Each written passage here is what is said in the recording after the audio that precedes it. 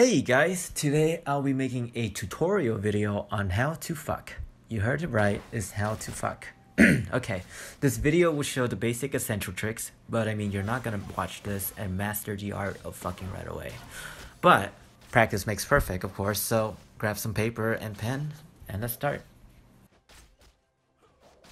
So, the first thing you gotta know about females, which I know all about females, people often tells me I'm the best, and I can say this without a doubt, that females love to play hard to get. For example, look at these two up here, you know, they're running away from me. But they still want some good fucking, if you know what I mean. Well, I guess I made it pretty obvious, but no, no, they're gonna come back for more. Just watch. Okay, okay. I'm gonna walk over here, you know, pretend that I'm gonna ward or some shit like that. I'm gonna go back, you know, whip my dicks out.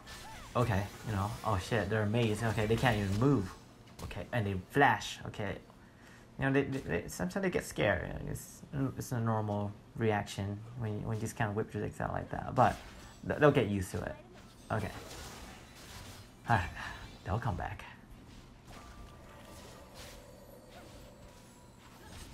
Okay, I'm just waiting for the right moment here, you know. Okay, you know, sometimes you just can't be too greedy. You can just kind of back out, you know, let them, let them uh, kind of go in their own, and then sight, fuck them up.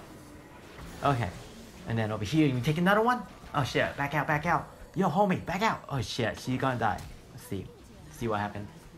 So you know, you just kind of gotta go on your own pacing.